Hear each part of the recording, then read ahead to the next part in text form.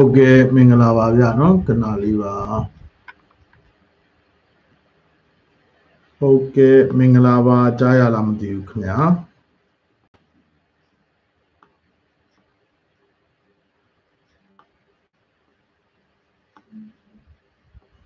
ဟုတ်ကဲ့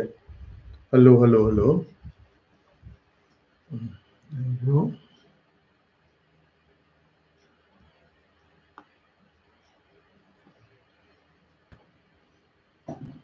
ဟုတ်ကဲ့ပါဗျအဲ့ဒီတော့ဒီကနေ့ညမှာဆိုရင်တော့ပေါ့ဗျာကျွန်တော်ဟုတ်လားမျက်မှောက်ရေးရပါတော့မျက်မှောက်ရေးရဆိုတာမျက်မှောက်ရေးရသတင်းလေးအချို့အပေါ်လေးကျွန်တော်ဟုတ်လားကျွန်တော်ရဲ့သုံးသက်ချက်လေးတွေပေါ့နော်ကျွန်တော်ရဲ့အမြင်လေးတွေဒါလေးတွေကိုကျွန်တော်မျှဝေပြီးတော့ပေးသွားဖို့ရှိနေတယ်လို့ဟုတ်လားအဲ ဒုတိယပိုင်းမှာဆိုရင်တော့ဗောနော်ဟလာပျော်လက်စတင်ဆက်လက်စဗောနော်အဲကျွန်တော်တို့ဟလာအမေရိကန်ပြည်ထောင်စုရဲ့ founding father ကြီးဖြစ်တဲ့သမ္မတကြီး George Washington ရဲ့ profile ဗောနော်ကျွန်တော်တို့ documentary film ရဲ့ဟလာကျွန်တော်တို့ mini series ရဲ့ပေါ့ဗျာပထမဦးဆုံးဟလာ season 1 synopsis 1ဖြစ်တဲ့ဟလာပထမပိုင်းရဲ့ပေါ့ဗျာ lawyer subject ပေါ့နော်တစ္ဆာစောင့်တည်တဲ့ အဲလက်အောက်ခံပေါ့နော်ဆိုတော့အဲ့ဒီအပိုင်းလေးအကြောင်းကိုလည်းကျွန်တော်ဟိုနောက်ပိုင်းမှာပေါ့နော်ကျွန်တော် review လုပ်ပြီးတဲ့အခါမှာကျွန်တော်ပြန်လည်ပြီးတော့မျှဝေပေးသွားမှာလေးတွေဖြစ်ပါတယ်ခင်ဗျာအဲ့တော့နှစ်ပိုင်းပေါ့ဗျာရှေ့ပိုင်းကတော့ကျွန်တော်တို့ဟလာအဲကျွန်တော်တို့ UNG ပေါ့နော် UNG ဆိုအမျိုးသားညီညွတ်ရေးအစိုးရလို့ပဲပြောပြော exile အစိုးရပေါ့နော် exile ဆိုပေမဲ့လည်းသူတို့ကတော့ဟလာ အဲသမ္မတကြီးဦးဝင်းမြင့်တို့ဟလာတိုင်ပင်ခံပုဂ္ဂိုလ်ကြီးဒေါအောင်ဆန်းစုကြည်တို့ပေါ့နော်ထောင်ချခံထားရတယ်ပေါ့နော်အဲသူတို့တွေကိုတော့သမ္မတတွေပေးထားဆဲဖြစ်တဲ့ပေါ့နော်ဒါပေမဲ့သူတို့သမ္မတပေးပေးမဲ့လည်းမလွတ်မြောက်ပဲနဲ့မာလာတွေထောင်ချတာကိုပဲခံထားရတဲ့သူတွေကိုဟလာအဲခေါင်းဆောင်ကြီးတွေဖြစ်တင်ပြီးတဲ့အခါမှာဆောင်ရွက်နေတဲ့တော်လှန်ရေးဥဆောင်ပေါ့နော်ကျွန်တော်တို့အမျိုးသားညီညွတ်ရေးအစိုးရပေါ့နော်ဆိုတော့အဲ့ဒီအစိုးရအဖွဲ့ရဲ့ကျွန်တော်တို့ကာကွယ်ရေးဝန်ကြီးဦး ရီမွန်နဲ့ဒါသတင်းမီဒီယာအချို့ရဲ့အဲမင်းမြန်ချက်တွေပေါ့နော်တွေ့ဆုံမင်းမြန်ငံအဲ့ဒါတွေပေါ်မှာပါတဲ့အကြောင်းအရာလေးတွေအပေါ်ကိုကျွန်တော်ရဲ့ဟလာသုံးသက်ကျွန်တော်သုံးသက်တဲ့သုံးသက်ချက်ပေါ့နော်ကျွန်တော်ယူဆချက်ပေါ့နော်ဒါလေးတွေကိုကျွန်တော်ပထမပိုင်းမှာကျွန်တော်မျှဝေပြီးတော့ကျွန်တော်တက်ဆက်ပြီးသွားမှာဖြစ်ပါတယ်ဆိုတော့ ဟလာဒုတိယပိုင်းကြတော့မှကျွန်တော်တို့ဟလာဝါရှင်တန်အကြောင်းကိုကျွန်တော်တို့ဆက်ကြမှာဖြစ်ပါတယ်ခင်ဗျအဲဆိုတော့ကျွန်တော်မှာထုတ်လွှင့်ချိန်ပေါ့ဗျာထုတ်လွှင့်ချိန်ကကျွန်တော်ရဲ့အကြိုက်ကတော့ midnight ပေါ့ဗျာအဲ့လိုမျိုး midnight ဆိုတာက late night ပေါ့နော်ကျွန်တော်တို့ည10နာရီလောက်မှမှကျွန်တော်လွှင့်ကျင်တယ်ဆိုပေမဲ့ပေါ့နော်မီးလာချိန်ပြက်ချိန်တွေအရာကျွန်တော်မှာအဲ့လိုမျိုးရွေးချယ်ခွင့်မရှိဘူးပေါ့နော်အဲဆိုကျွန်တော်ကလာတဲ့အချိန်လေးဖန်ဖန်ပြီးတော့လွှင့်ရပြောရတာမျိုးပေါ့နော်မဟုတ်တော့လေဟလာတို့ဟလာဟို ဟိုအခုဆိုရင်ဒါ၈နာရီတို့မှမိပြတ်မှာပေါ့နော်အဲ့တော့၈နာရီမထိုးခင်တက်တုပ်ရိုက်ပြီးတဲ့အခါမှာကျွန်တော်ပြောရမှာလည်းဖြစ်ပါတယ်ခင်ဗျမဟုတ်လို့ရှိရင်ဒါဟိုမီးလာချိန်ပြတ်ချိန်ဘာညာကုကလည်းမသိသလိုဟိုတနေ့တော့ဆိုရင်နေကင်းဘက်ဒီလားပြောနေတဲ့အခါမှာဟလာမီးရပြတ်သွားလိုက်တဲ့အခါမှာဟိုကျွန်တော်တို့ပြောရတဲ့လူလည်း move ပြတ်တယ်လို့ဟလာအပိုင်းပိုင်းတွေဖြစ်ကုန်တာပေါ့နော်ကျွန်တော်တို့ဟလာဟိုတခုဟိုအကြောင်းအရာတစ်ခုဆိုရင်လည်းအကြောင်းအရာတစ်ခုကို PPCC ကျွန်တော်မှာဟိုပြောရတာတွေမှာအင်မတန်ခက်ခဲတယ်ပေါ့နော်အဲ့တော့ အဲအခုဆိုလို့ရှင်တော့သူကနယ်မျိုးတွေမှာကျတော့၄နာရီတစ်ဖြတ်၄နာရီတစ်ဖြတ်ပေါ့နော်အဲ့လိုလာပြီးလို့ရှင်အဲ12နာရီတစ်ဖြတ်ပြန်ပြတ်သွားပြန်အောင်ပေါ့နော်ဆိုတော့အဲ့လိုမျိုးအခြေအနေလေးတွေရှိတယ်ပေါ့ဗျာဒါကတော့ကျွန်တော်တို့ကဟလာအမေရိကတို့ဟလာဘာတို့ကနေပြီးတော့မှမိမပြတ်ပါမပြတ်နဲ့ဟလာအဲဆူရှီလေးလိမ့်လိုက်တဲ့ဟို live လေးပြောလိုက်ပေါ့နော်အဲ့လိုဟာမျိုးတွေနဲ့ကျွန်တော်ရဲ့ဟာတွေနဲ့တော့ဟိုချားမှာဖြစ်ပါတယ်ပေါ့နော်အဲ့တော့ဟလာ အမေရိကနေတဲ့သူတွေလည်းဝါရှင်တန်အကြောင်းသူတို့လည်းဘာမှန်းသိကြတာမဟုတ်ဘူးပေါ့နော်ခင်ဗျားတို့လေးတန်တော့မဟာဘူးပေါ့နော်ဆိုတော့ကျုပ်ကဗမာပြည်ထဲကနေပြီးတော့နေပြီးတဲ့အခါမှာအဲ့ဒီအကြောင်းတွေပြောရတာလည်းသိတော့မကောင်းဘူးပေါ့နော်တကယ်ဆိုရင်ဒါအမေရိကမှာရောက်နေတဲ့ကိုရွှေမြန်မာတွေပြောကြဆိုကြရလုပ်ကြရမယ်ဟာတွေပေါ့နော်ဆိုတော့သူတို့တောင်ကြည်ဘူးကြရလားမသိဘူးပေါ့နော်သူ တို့ဘာသူတို့ဆူရှီလိတ်ပြီးတော့ပဲဟလာခင်ဗျားတို့ဆဆရကလှမ်းလုံးမယ်ခင်ဗျားတို့သူတို့အာရန်ပုံငွေရှာသလိုလိုဘာလိုလိုနဲ့ပြီးရင်ဟိုမြောက်ပြီးဒီမြောက်ပြီးပေါ့ဗျာဒါမျိုးတွေပဲလုပ်မှာပေါ့နော်သူတို့တစ်ဖက်ကလူဖွဲ့စည်းကိုပြုစုပြောထောင်ဖို့ဆိုတဲ့တာဝန်ကအစင်ဆက်တက်ကွက်ခဲကြတဲ့ဟာတွေကြည့်ရပဲပေါ့နော်ဆိုတော့အဲ့ဒါတွေကြောင့်မလို့လဲအဲ့ဒီလိုအချက်ကလေးကိုကျွန်တော်ကဖြည့်ဆည်းပေးတဲ့အနေနဲ့ဒါဒီဟာတွေကိုပြောတာပေါ့နော်အဲ့တော့ဟုတ်လားအဲမနေ့တုန်းကကျွန်တော်နားထောင်ရပါတယ် RFA မှာကိုခမောင်ဆိုးပေါ့နော်ဆိုတော့ ဟလာသူမေးတယ်ပေါ့နော်ဦးကြီးမို့ပေါ့နော်အဲ့တော့တိုးတက်တော်လန်ရေးကဒီကာလပေါ့နော်ဒါဟလာ PDF တွေဖွဲ့စည်းပြီးတဲ့အခါမှာဟလာစုဖွဲ့ပြီးတဲ့အခါမှာတွေဟလာဆောင်ရွက်ဖို့ရတဲ့အတွက်နော်အဲတိုးတက်လာတဲ့အခြေအနေတွေရှိတယ်လို့ဆိုပြီးတော့သူပြောတယ်ပေါ့နော်ဟာဟုတ်တာပေါ့တိုးတက်မှာပေါ့သိတယ်ဟုတ်ဒီလူတွေဟိုမှာဘာလို့မလာတွေစအာနာသိမ့်တဲ့နေ့ကစီပင်ဝင်းထဲမှာဟလာလာသူတို့လာဖမ်းထားတဲ့လူတွေစီကမလာရဲဘော်တွေစီကတောင်မှ စလိတ်မီတောင်းတို့ပြီးတဲ့အခါမှာဟလာအာဖွဲ့စည်းပုံခြေကံဥပဒေနဲ့ဥပဒေနဲ့အညီသိမ့်တာဟုတ်ပါတယ်ဆိုပြီးတော့ဝန်ခံလက်မှတ်ထိုးပြီးတဲ့အခါမှာခြေပလာလက်ပလာနဲ့နော်ပြေးခဲ့ကြရတဲ့နော်အပြင်ရောက်ပြီးတော့မှစောက်ကြီးစောက်ကြတွေပြောပြီးတော့ပြည်တွင်းထဲက NLD အမတ်ဆိုတာတွေကချီးတောင်မပေါက်ရဲတော့တဲ့အခြေအနေမျိုးတွေ ဖြစ်သွားတယ်ပေါ့နော်သူတို့လည်းအပြင်ရောက်မှဒါတွေကရဲရဲတောက်တွေသိတယ်ဟိုဟိုအဲ့လိုမျိုးလက်သီးလက်မောင်းတန်းပြီးတဲ့အခါမှာလက်နက်ကင်တို့ခုခံစစ်တို့ဆိုတာတွေပြောတာပေါ့ဗျာဆိုတော့ဗမာပြည်ထဲကအမတ်တွေအများကြီးပဲရှိတယ်သိတယ်ဟိုတော့ဆူဆူလွင်တို့သူတို့တွေပေါ့နော်အများကြီးပဲအများကြီးပဲရှိတယ်အဲ့ဒါတွေကလည်းဘာတန်းမှတော့ချီးတောင်ကြကြမပေါက်ရဲဘူးတချို့ဆိုလို့ရှိရင်ဟလာအဲ့မှာပင်စင်လာစာတောင်မှပင်စင်စရိတ်တောင်မှထုတ်စားနေတဲ့အမတ်တွေအများကြီးပေါ့နော်ဆိုတော့ တနေ့ရဆိုလို့ရှိရင်လည်းအများတို့ NLD လက်ထက်ကဝင်ကြီးပြန်ကြားရေးဝင်ကြီးဖေမြင့်တို့ဘသူတို့တွေဟလာမာလာတွေပေးတဲ့ဘောဒစိတ်တွေတောင်မှလက်ခံပြီးတော့နေကြတာပေါ့နော်ဆိုချင်တာကအာအဲ့ဒီအခြေအနေအများတို့ရဲ့ဟလာဒေါ်စုပေါ့ဗျာဟလာဖက်စစ်စစ်တပ်ကိုမွေးဖွားစေခဲ့တဲ့နော်သခင်အောင်စတန်းရဲ့သမီးဒေါ်စုကိုလည်းဟလာနော် ကြက်ကလေးငက်ကလေးလို့မအားလာတွေကဖမ်းလိုက်တဲ့အချိန်တုန်းကအများတို့အဲ့ဒီအမတ်တစ်ထောင်ကျော်လောက်ရှိတယ်နေပြီးတော့စီပင်ဝင်းထဲမှာတစ်ထောင်နီးပါး800တစ်ထောင်လောက်ရှိတယ်နော်တယောက်မှလက်ချင်းချိတ်ပြီးတဲ့အခါမှာနော်နေပြီးတော့ရဲ့အဲ့လားရာဇဌာနေလမ်းမကြီးတွေပေါ်မှာပြစ်ကြဇန်းกว่าတက်ကြဇန်းกว่าလို့ငါတို့ကတော့လွတ်တော်တက်မှာပဲกว่าလို့ဆိုပြီးတော့လက်ချင်းချိတ်ပြီးတဲ့အခါမှာတယောက်မှမကြိုးစားခဲ့ပဲနဲ့ဟလာထွက်ပြေးသွားပြီးတော့မှနော်အာအပြင်ရောက်တော့မှနော် လက်နက်ကင်တော်လန်ရေးဘာညာဘာညာဆိုပြီးတော့တွေလုတ်တော့ဟလာခြေပလာလက်ပလာနဲ့နော်ပြေးပြီးတော့အိတ်ဆိုင်ပေါ့ဗျာပြေးပြေးလုတ်သွားကြပြီးတော့မှနော်ဆိုတော့နှစ်နှစ်လောက်နှစ်နှစ်နီးပါးရှိတဲ့အချိန်ရောက်တဲ့အချိန်ဒီမှာတော့မတိုးတက် မတိုးတက်ရပဲနေမလားပေါ့နော်ခြေပလာလက်ပလာနေပြီးတော့ပေါ့နော်သူတို့ကိုယ်တိုင်လည်းဟလာဘယ်နိုင်ငံသားတွေဖြစ်ပြီးတဲ့အခါမှာတော်လန်ရေးရန်ပုံငွေတွေကိုဘယ်လောက်သုံးပြီးတဲ့အခါမှာဟလာသူတို့သားသမီးတွေတို့ဘာတို့ညာတို့တွေကိုဘလို့တောင်းကောင်းကောင်းတွေမှာထားပြီးတဲ့အခါမှာနော်ဘလို့တွေလုံနေကြသလဲပေါ့နော်ဆိုတော့ဟလာပြည်တွင်းတွေကနော်ဟာပြည်သူတွေရဲ့အသက်ဘဝခန္ဓာတွေဟလာတရားစိတ်အပြည့်နဲ့ဒါနပြုထားကြတဲ့အသက်သွေးချွေးတွေနဲ့နော်ဒါစ င်နွဲဆောင်ရွက်နေကြတဲ့နော်ဟာသွေးသစ္စာပြုတ်ပြီးတဲ့အခါမှာတော်လန်ဆောင်ရွက်နေကြတဲ့နော်တော်လန်ရေးရန်ပုံငွေတွေကကိုကြိုးတပြားမှမသုံးဘူးတဲ့ကောင်ရှိသလားဆိုတာမျိုးတွေဟာဒါတွေကိုကျွန်တော်တို့ကမေးချင်တာမျိုးတွေဖြစ်တယ်ပေါ့နော်ဆိုတော့အဲ့ဒါမျိုးတွေလည်း ဟုတ်လားအများတို့တော်လိုင်းရံပုံငွေတွေအများတို့ဘဏ္ဍပြားအများတို့ကိုကျိုးအတွက်သုံးထားတာတုံးလို့ကျုပ်တို့မေးရင်ကျုပ်တို့နဲ့ကစောက်ပြဿနာပေါ့နော်ဆိုချင်တာကအဲ့ဒီလိုတိတ်တန်တန်နဲ့ငါတို့ကတော့ဖြစ်တပြားမှတော်လိုင်းရံပုံငွေတွေကစလိုက်တလိုက်တောင်တောက်မတောက်ဖူးဖူးกว่าလို့ဆိုတော့အများတို့ခေါင်းဆောင်မျိုးတွေဖြစ်မှာအများတို့ဟလာတီညိုကြကိုးကွယ်ကြပေါ့နော်မဟုတ်ဘဲနဲ့ခင်ဗျားတို့အသက်တွေကိုခင်ဗျားတို့မြောက်ပြစတန်တောက်ခင်ဗျားတို့အသက်တွေနော်အသက်သွေးချွေးတွေကိုဟလာ အရင်အနည်း investment လုပ်ပြီးတဲ့အခါမှာသူတို့ဘဝတိုးတက်ရတိုးတက်ကြောင်းတွေကိုပေါ့နော်ဟာခင်ဗျားတို့ရန်သူမွေးပေးထားပြီးတဲ့အခါမှာခင်ဗျားတို့ဟလာကိုရီလက်ရောက်လာတက်နော်မဟာလာတွေကလည်းနော်ဒါအဲ့ဒီအရီတက်လို့ဆိုပြီးတဲ့အခါမှာပြအလူကန်ပြီးတဲ့အခါမှာသူတို့ကိုဂျိုးတွေအတွက်အသုံးပြုပေါ့နော်များတို့တွေဟလာ PDF တွေပါနေညာဆိုလဲလက်နက်ဆိုတော့လေဟိုမှာလက်လုံးတနတ်နဲ့သူတို့သူတို့ ဒါတွေကိုခင်ဗျားတို့ပါခင်ဗျားတို့စင်ကျင်နိုင်ကြဖို့ပေါ့နော်ခင်ဗျားတို့ချနေတဲ့ဖင်ကတော့ခင်ဗျားတို့ဖင်ကိုချနေတာလီ2000ရှိတယ်ဆိုတော့ခင်ဗျားတို့ကောင်းကောင်းနားလဲသဘောပေါက်မာလာတို့ကလီ1000ဆိုရင်အဲ့ဒီ NUG ကကောင်တွေကခင်ဗျားတို့ဖင်ကိုချနေတယ်နောက်လီ1000ပဲနော်ဆိုချင်တာကနော်အဲ့တော့နော်အဲ့ဒါကတော့တိုးတက်တယ်ဆိုတဲ့ဟာအပေါ်ရဲ့အမြင်ပေါ့ဗျာဟလာနေပြီးတော့စီပင်ဝင်းထဲမှာဟလာလာပြီးတော့သူတို့ဖမ်းချုပ်ထားတဲ့မာလာရဲဘော်တွေစီကစလိတ်မီတောင်းတို့ပြီးတဲ့အခါမှာဟလာ အိမ်ပြန်ပို့ပြီးတော့မှအဲ့အိမ်ကနေပြီးတော့မှဟာတက်တုံရိုက်ပြီးတော့မှချစ်ပလာလက်ပလာနဲ့နော်ပြေထွက်ပြေးသွားပြီးတော့မှနော်ဟိုတက်မမားတို့ဘာတို့ပေါ့ဗျာအဲ့မှာတက်မဟာငါ့ကိုပြောတာဗာမမပဲစားလို့တက်မမားလို့ကျုပ်တို့ကပြောတာပါဗောနော်ဆိုတော့အဲ့ဘက်ရောက်သွားမှလေကြီးပင်ကျယ်တွေနဲ့ပေါ့ဗျာအဲ့တော့အဲအဲ့ဘက်ရောက်ပြီးတော့မှလုတ်တယ်ဆိုတဲ့တော်လန်ရေးပေါ့ဗျာအဲ့တော့ဟလာနော်နောက်ထပ်ဟိုတကူကတော့ဟာတမတာကြီးယာယီတမတာကြီးဒူဝါလက်စီလာလွဲရင်တဲ့နော် ကြံတဲ့သူတွေပေါ့နော်ကြံတဲ့လူကြီးတွေအကုန်လုံး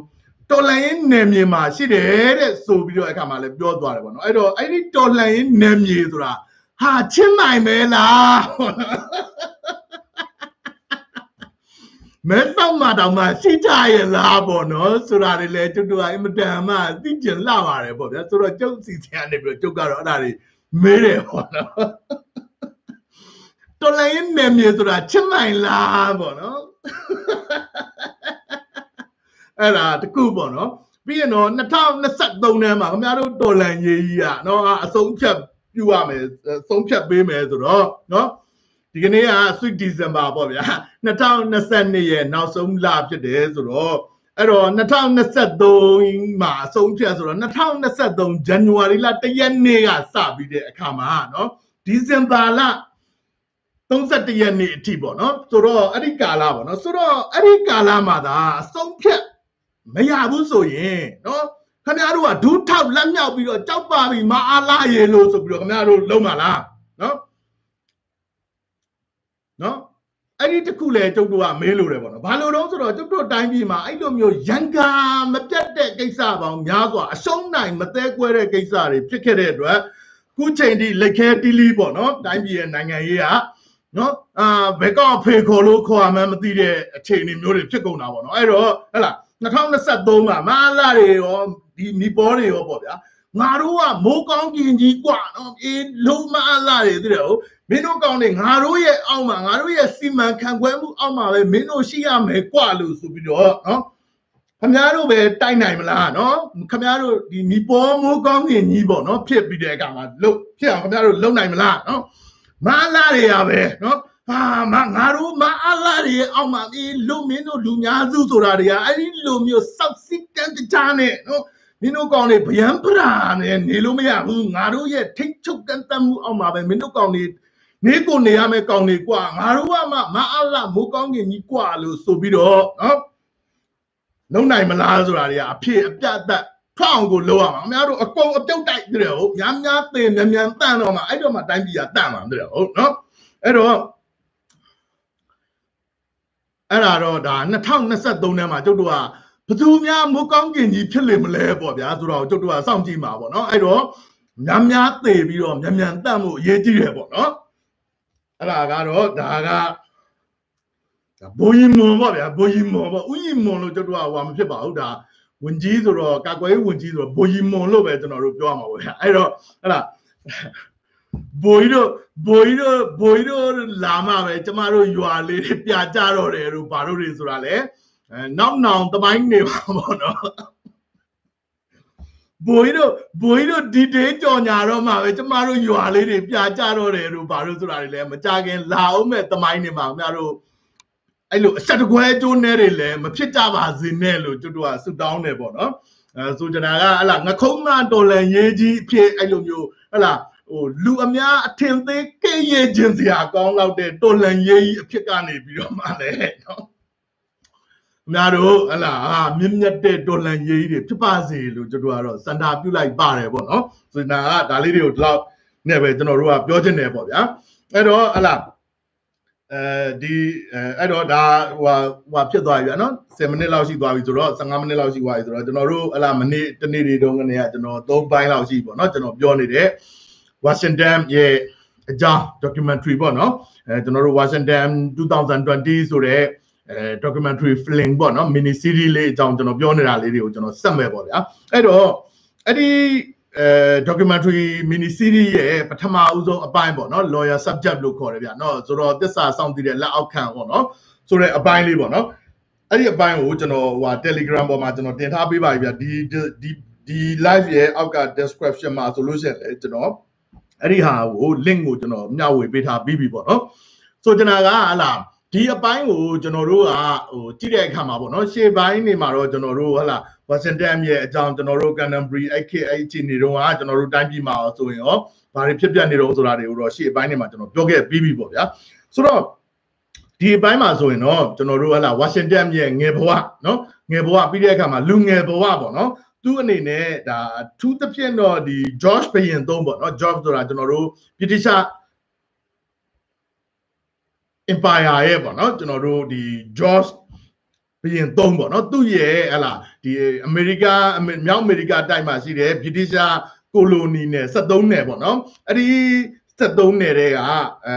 ကျွန်တော်တို့ဗာဂျီးနီးယားတက်ခွဲမှာပေါ့နော်ဂျော့ချ်ဘရင်ရဲ့အဲကျွန်တော်တို့မြောက်အမေရိကတိုက် ဒီကိုလိုနီနယ်73နယ်တဲ့မှာတခုအပါအဝင်ဖြစ်တဲ့ဗာဂျီးနီးယားပြည်နယ်ရဲ့တက်မှာအမှုထမ်းနေတဲ့เนาะကျွန်တော်တို့လူငယ်အရာရှိပေါ့เนาะအရာရှိငယ်လေးဝါရှင်တန်ကိုကျွန်တော်တို့ဟလာအဲကျွန်တော်တို့ uniform အနီပေါ့နော် uniform အနီနဲ့ဝတ်ဆင်ထားပြီးတဲ့အခါမှာအဲဝတ်ဆင်ထားတဲ့ပုံရိပ်တွေကိုကျွန်တော်တို့စတင်ပြီးတော့မြင်တွေ့ကြမှာပေါ့နော်အဲ့တော့ American Dollar ရေးစစ်ကိုကျွန်တော်တို့ကပြောတဲ့အခါမှာဟလာ ဗြိတိရှတပ်တွေက uniform အနီဝတ်ပြီးတဲ့အခါမှာအဲ American တပ်တွေကပြီးတော့ uniform အပြာရောင်ဝတ်တယ်ပေါ့ဗျာဆိုတော့အဲ့ဒီဟာလေးတွေကိုကျွန်တော်တို့ကကွက်ကွက်ပြပြသိထားမှာဟာဘယ်ဘက်ကဘာတုံးဆိုတာကိုသိမှာပေါ့နော်ဘာလို့လဲဆိုတော့နှစ်ဖက်စလုံးကအင်္ဂလိပ်ဖြစ်နေလို့ပေါ့နော် ဆိုကျွန်တော်ကတော့အဲ့ဒီဟာမျိုးကနေစမယ်အဲအဲ့ဒါမျိုးကနေစတင်ထားတာဖြစ်ပါတယ်ဗျဆိုတဲ့အခါမှာအဲ့ဒီမှာတော့ဟလာသူကကျွန်တော်တို့အခုလက်ရှိအခြေအနေမှာဆိုလို့ရှိရင်တော့ကနေဒါနဲ့အမေရိကန်ပြည်ထောင်စုကြားမှာတိကျ Federal Unit တွေအနေနဲ့အမေရိကန်ပြည်ထောင်စုထဲမှာပါဝင်နေတဲ့ဒေသတွေပေါ့နော်အဲအဲ့အဲ့အဲ့အခြေအနေတုန်းကတော့အဲ့ဒေသတွေမှာကျွန်တော်တို့ဒီ Native American လို့ခေါ်တာပေါ့နော် Native American ဆိုတာကကျွန်တော်တို့ Red Indian တွေကိုခေါ်တာပါပေါ့နော်အဲဆိုကျွန်တော်ကဟလာဒီ ဒါတွေကိုကျွန်တော်တို့ကပြောတဲ့အခါမှာလက်ရှိအချိန်အထိဆိုလို့ရှိရင်လည်းအဲကျွန်တော်တို့ကအမေရိကန်ပြည်ထောင်စုရဲ့နိုင်ငံရေးကိုကျွန်တော်တို့လေ့လာတဲ့အဲအမေရိကန်အဲနိုင်ငံရေးယဉ်ကျေးမှုတို့ဒီမီဒီယာကာချာတို့တွေပေါ့ဗျာဒါတွေကိုကျွန်တော်တို့ကလေ့လာတဲ့အခါမှာ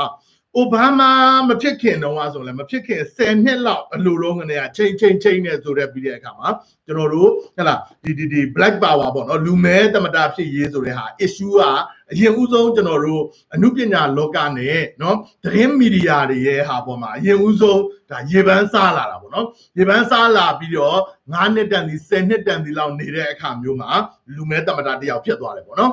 ဆိုချင်တာကနော်အခုလက်ရှိအခြေအနေမှာဆိုလို့ရှိရင်လည်း အဲကျွန်တော်တို့နှစ်အဲဘာတော့လက်တီနိုလက်တီနိုဆိုတဲ့ဟာကကျွန်တော်တို့အမေရိကန်မှာအများစုဖြစ်တဲ့ကျွန်တော်တို့စပိန်စကားပြောပေါ့နော်လက်တင်စကားပြောအမေရိကန်နိုင်ငံသားတွေတွေကနှစ်ပေါင်း250ကျော်ကာလမှာတယောက်မှတမတာမဖြစ်သေးဘူးပေါ့နော်အဲ့တော့ Latino issue ကအဲဖြစ်နေတာ9နှစ်နီးနီးလောက်ရှိနေပြီပေါ့နော် issue တဲလာတာအမေရိကန်မီဒီယာတွေကဝိုင်းပြီးတဲ့အခါမှာပေါ့နော်အဲ့တော့ ဟလာလာမဲ့ရွေးကောက်ပွဲအလွန်လိုဟာမျိုးမှာတမတာကနော်လက်တီနိုတမတာများဖြစ်လာလင်မလားဆိုတဲ့ issue တစ်ခုရှိသလိုဒီ native american ပေါ့နော် native တွေလည်းတခါမှတမတာမလုပ်ခဲ့မလုပ်ရသေးဘူးပေါ့နော်အဲ့တော့ native american တွေတမတာဖြစ်လာမလားဟိုဘက်က latin တွေတမတာဖြစ်လာမလားဒါမှမဟုတ်ဘူးဆိုရင် republican နဲ့ဒီမိုကရက်နဲ့ကြားမှာဘယ်ဘက်ကအဲ့ဒီ issue ကိုဘယ်လိုတွေပလေးကြမလဲဆိုတာတွေကလည်းကျွန်တော်တို့ဒါဆက်ဆက်နေတဲ့မျက်မှောက်ရေးရာ American politics နဲ့ American culture တွေကနေပြီးတဲ့အခါမှာကျွန်တော်တို့အင်မတန်စိတ်ဝင်စားတယ်ပေါ့နော်ဆိုတော့ဟလာအဲ့ဒီ data ကအဲ့ဒီဟိုကနေဒါနဲ့အမေရိကန်နဲ့ဂျားမှာရှိတဲ့အဲ data တွေကိုဆိုလို့ရှိရင်တော့ကျွန်တော်တို့က Euro-US data တွေလို့ခေါ်တာပေါ့နော် Euro-US ဆိုတဲ့ဟာကအဲ့ဒီမှာ native american ကျွန်တော် red indian မျိုးနွယ်စု၄၅စုလောက်ရှိတယ်ပေါ့ဗျာအဲ့ဒီ၄၅စုကသူတို့ကဒီဒီဒီဟွာတွေမလာခင်တော့ကဒီနယ်ချက်တွေပေါ့နော်ပြင်သစ်တို့ အင်္ဂလိပ်တို့မရောက်ခင်အခြေအနေမှာသူတို့ကလည်းသူတို့ဘာသူတို့အဲနိုင်ငံတစ်ခုအနေနဲ့သူတို့ရှိခဲ့တယ်ပေါ့နော်အဲဒါပေမဲ့ civilization ကတော့ဘယ်လောက်ရှိတုံးဘာတုံးဆိုတာတွေတော့ကျွန်တော်တို့အသေးစိတ်မလေ့လာနိုင်ဘူးပေါ့နော်ဒါပေမဲ့တော့သူတို့ကအဲ့ဒီနေရာဒေသတွေမှာပြန်ကျဲပြီးတော့မှနေတယ်ပေါ့နော်ဆိုတော့အဲ့ဒီဗာဂျီးနီးယားတက်ကနေပြီးတဲ့အခါမှာအဲအခုလက်ရှိအခြေအနေမှာဆိုလို့ရှိရင်တော့ကျွန်တော်တို့ဒီပါအောင်မြန်နော်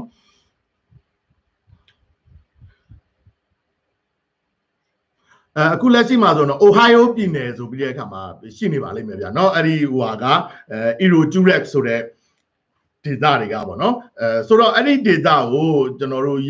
အခြေချပြီးတဲ့အခါမှာအခြေချနေတဲ့ပြင်သစ်စစ်တပ်စီကိုဗြိတိန်ဘရင်ရဲ့ဟလာရာဇတန်ကိုပေးဖို့ဟာအတွက်သွားရောက်ပြီးတဲ့အခါမှာဆောင်ရွက်ရတဲ့ဇဝင်ကံမျိုးနဲ့စတင်ထားတာကိုကျွန်တော်တို့တွေ့ရမှာဖြစ်ပါတယ်အဲ့မှာဆိုရင်တော့ခုနကကျွန်တော်တို့အများရန်ပြောနေတဲ့ native တွေပေါ့နော် native တွေကသူတို့က native အဲ့မျိုးနွယ်စုတွေအားလုံးရဲ့ခေါင်းဆောင်ပေါ့နော်ခေါင်းဆောင်ဆိုလို့ရှိရင်တော့သူတို့က Hafkin လို့ဆိုပြီးတော့မှခေါ်တယ်ဗျာနော်ဆိုတော့အဲ့ဒီ Hafkin နေနဲ့เนาะ Hafkin နေ Hafkin နဲ့ပေါ့เนาะသူတို့ ਨੇ ဗြိတိန်နဲ့အဲ့တော့မဟာမိတ်အနေမျိုးနဲ့ရှိတယ်ပေါ့ဗျာဆိုချင်တာကဒီပြင်သစ်နဲ့ဒီ Red Indian နေနဲ့ရဲ့စစ်ပွဲကြီးကိုစတင်စေခဲ့တဲ့ အဲကိစ္စအိမ်မှာလဲဝါရှင်တန်ကအဓိက အဲတာဝန်ရှိတဲ့အရာရှိတယောက်အနေနဲ့လည်းအဲသူအနေနဲ့ကြုံတွေ့ခဲ့ရတယ်ပေါ့နော်။ဘာကြောင့်လို့ဆိုတော့အဲဟိုဘက်ကလာတဲ့ပြင်သစ်တန်တမန်ကိုအဲသူသူသူယုံကြည်စိတ်သူနဲ့မဟာမိတ်ဖြစ်တဲ့ဒီ Hafkin လို့ခေါ်တဲ့ Red Indian ခေါင်းဆောင်တွေကတပ်ပစ်ပြီးတဲ့အခါမှာဆောင်ရွက်လိုက်တဲ့အတွက်ပြင်သစ် Red Indian စစ်ပွဲကြီးပေါ့နော်အဲ့ဒီဟာကြီးက9နှစ်ကြာမြင့်မှာလေဗျာနော်သူတို့ American ဒေါ်လာရင်းစစ်ပွဲမတိုင်ခင်ကာလတွေပေါ့နော်အဲ့ဒါတွေဆိုတော့ကျွန်တော်တို့က1954ကနေပြီးတော့မှ1963ခုနှစ်အထိ9နှစ်ကြာဖြစ်ပွားခဲ့တဲ့ပြင်သစ် အင်ဒီယန်စစ်ပွဲပေါ့နော်အင်ဒီယန်ဆိုတာ red indian ကိုပြောတာပါဗျာနော်ဆိုတော့အဲ့ဒီဟာကိုစတင်စေခဲ့တဲ့ဟာမှာလေဒီဝါရှင်တန်ရဲ့အသက်အရွယ်ငယ်ရွယ်တဲ့ကာလတွေဟလာစီရေးအတွက်ကြုံနှုနယ်တဲ့ဟာတွေကိုခွင်ကောင်းယူပြီးတဲ့အခါမှာဟိုဘက်က half king ကနေပြီးတော့မှပြင်သစ်တွေကိုရန်သွားစပြီးတော့မှဖြစ်ပေါ်တဲ့ဟာမှာလေသူမှာဒါအဲသူ့ရဲ့ပထမအဆုံးဒါစီရေး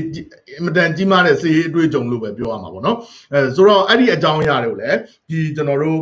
lawyer subject ဆိုတဲ့အထက်မှာကျွန်တော်တို့တွေ့ရမှာပေါ့နော်သူကဘာကြောင့်လို့ဆိုတော့သူကဗြိတိရှဘီရင်ဗြိတိန်ဘီရင်အပေါ်ကိုအင်မတန်မှသစ္စာစောင့်တည်တဲ့နော်တကယ်ဟလားတမတော်သားဆိုတာကဒါစစ်သားဆိုတာ chain of command ပေါ့ဗျာလူအထက်ကအမိန်အရာပဲသူကအကုန်လုံးကိုဆောင်ရွက်ရတဲ့ဟာတွေပေါ့နော်ဆိုတော့ဒီသဘောတရားတွေကိုလည်းကျွန်တော်တို့ကလေ့လာရမှာဖြစ်ပါတယ်ဗျာနော်အဲ့တော့ဟလား အဲကျွန်တော်တို့ပြင်သစ်အိန္ဒိယန်ပေါ့နော်ပြင်သစ်အိန္ဒိယန်ဆိုတာ red indian တွေပေါ့နော်သူတို့တွေရဲ့စစ်ပွဲတွေမှာဆိုလို့ရှိရင်တော့ကျွန်တော်တို့မြန်မာခက်မှာဒီ Pennsylvania ပြည်နယ်တို့နော်အဲ Pennsylvania ပြည်နယ်လို့ဆိုပြီးတော့ခေါ်တဲ့နေရာမှာရှိတဲ့ခံတပ်ပေါ့ဗျာအဲ့ဒါကိုတော့ folk necessary လို့ခေါ်တယ်ဗျာနော်အဲ့ဒီတိုက်ပွဲတွေမှာရှုံးတယ်ပြီးတဲ့အခါမှာမွန်ဂါမွန်ဂါဟီလာတိုက်ပွဲတို့ဘာလို့ပေါ့နော်အဲ့ဒီဟာတွေမှာဆိုလို့ရှိရင်လည်းတက်တွင်းပုံကံမှုဖြစ်တာတို့တက်တွင်းမငြိမ်မသက်ဖြစ်တာတို့ပေါ့ဗျာအဲ့ဒါမျိုးတွေဖြစ်ခဲ့ပြီးတဲ့အခါမှာ အခါမှာဒီဝါရှင်တန်ကဒီအမေရိကမှာရှိတဲ့အမေရိကန်ရောက်ပေါ့ဗျာဒါဟိုဟာတွေဘောင်းစုံပေါ့ဗျာအင်္ဂလိပ်လည်းပါမယ်ဟလာဒက်စ်တွေလည်းပါမယ်ပေါ်တူဂီတွေလည်းပါမယ်ပေါ့ဗျာအဲ့လိုဟာမျိုးတွေနဲ့စုပေါင်းပြီးတဲ့အခါမှာကျွန်တော်တို့အမေရိကန်တရင်တစ်ခုကိုလည်းသူကစတင်ပြီးတော့မှဗြိတိန်ရဲ့ဗြိတိန်ရဲ့အမေရိကန်တပ်ပေါ့နော်ဆိုတာကိုစတင်ပြီးတော့သူကဖွဲ့စည်းတည်ထောင်နိုင်ခဲ့တဲ့ပုံကိုလည်းဖြစ်ပါတယ်ဗျာဆိုတော့အဲ့ဒီအကြောင်းအရာတွေလည်းပါတယ်ပေါ့နော်အဲဆိုတော့အဲ့ဒီကနေပြီးတဲ့အခါမှာသူကဒီ ဒီဒီဒီဒူကွိန်းဒူကွိန်းခံတက်လို့ကျွန်တော်တို့ပြောကြပါလို့ပေါ့ဗျာအဲ့ဒါတော့ခင်ဗျားတို့ဒီ documentary ထဲမှာကြည့်ရင်တော့အဲ့ဒီဟာတွေအကြောင်းအပြည့်စုံပါမှာပေါ့ဗျာเนาะဆိုတော့အဲ့ဒီခံတက်တိုက်ပွဲပြီးတဲ့နောက်ပိုင်းမှာဆိုတော့ तू ကတက်ကနေအနားယူပြီးတဲ့အခါမှာသူ့ရဲ့ဟဲ့လား အဲဗာဂျီးနီးယားကိုပဲပြန်ပြီးတဲ့အခါမှာပေါ့နော်သူဟိုကလေးနှစ်ယောက်ရဲ့မိခင်မာသာပေါ့နော်သူငယ်အိမ်အောင်ပြုတ်ပြီးတဲ့အခါမှာသူငင်းငင်းချမ်းချမ်းနေတယ်ပေါ့နော်ဆိုတော့အဲ့ဒီကာလတွေမှာ1963ပေါ့နော်ဆိုတော့အဲ့ကာလတွေမှာကျွန်တော်တို့ထင်တယ်အဲ့1963ဆိုတာကျွန်တော်တို့တိုင်းပြည်မှာလက်ဝဲတုံတရာကိုမဲစာပို့တဲ့အချိန်လောက်ဖြစ်မယ်လို့ကျွန်တော်ထင်တာပါပဲဗျာနော်ဆိုတော့ဒါခစ်ပြိုင်ဖြစ်နေတဲ့ဟာတွေကိုကျွန်တော်တို့ကမျက်လုံးထဲမှာလည်းမြင်အောင်လို့လည်းကျွန်တော်ဒါတွေကိုပြောနေတာဖြစ်ပါတယ်ဗျာနော်အဲ့တော့အဲ့ဒီ ဟိုဟာမှာကျွန်တော်တို့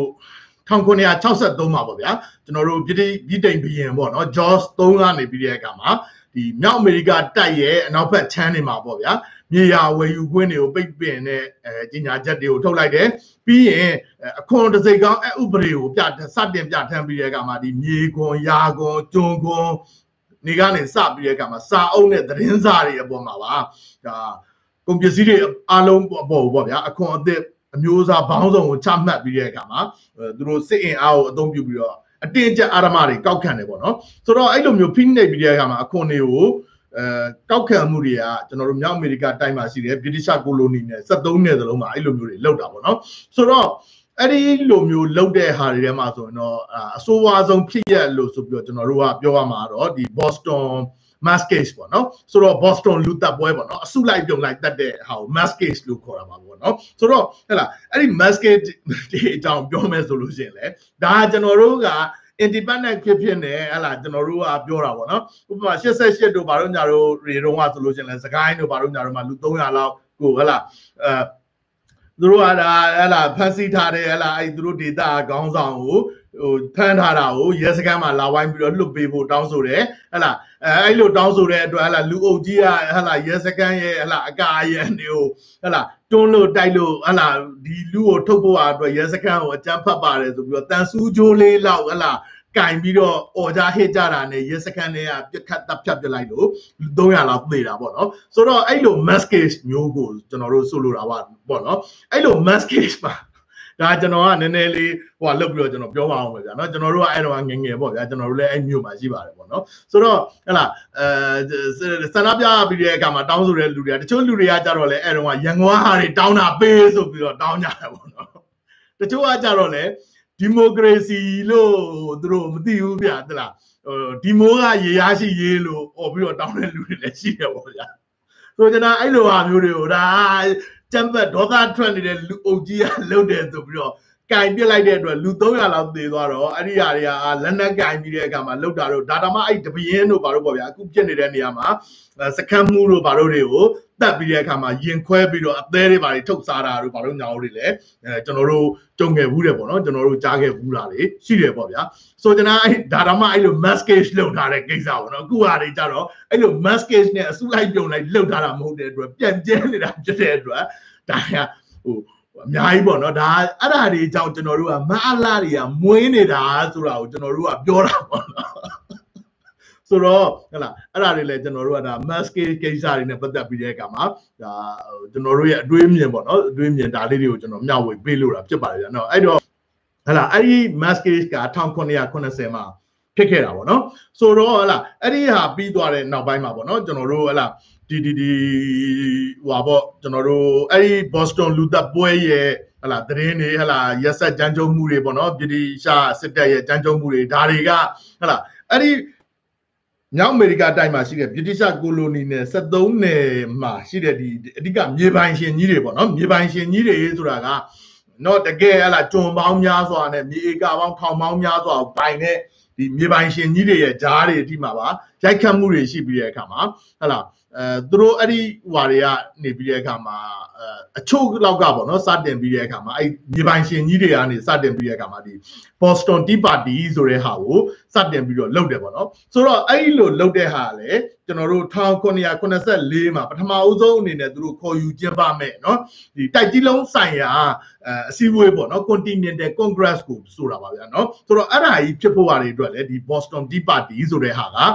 ကျွန်တော်တို့ဟလာအဓိကနေရာကနေပြီးတော့အဓိကအခန်းကဏ္ဍကနေပါဝင်ခဲ့တယ်ပေါ့နော်အဲ့ဒီနေရာမှာဟလာမြေပိုင်ရှင်တထေးကြီးတွေဘာတွေကနေပြီးတဲ့အခါမှာစူယုံစီးပြီးတဲ့အခါမှာတိုင်ပင်ဆွေးနွေးပြီးတော့ဒီဟာတွေကိုသူတို့ဘယ်လိုလုပ်ကြမလဲဆိုတဲ့ဟာတွေကိုသူတို့တိုင်ပင်ခဲ့ကြတာဖြစ်တယ်ပေါ့နော်အဲ့ဒီကနေပြီးတော့မှ movement တစ်ခုသူတို့အဲ Boston Tea Party ကနေပြီးတဲ့အခါမှာချမှတ်ပြီးတော့သူတို့လုပ်တယ်ပေါ့နော်အဲ့ဒါကတော့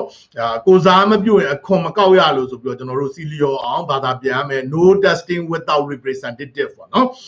ဆိုတော့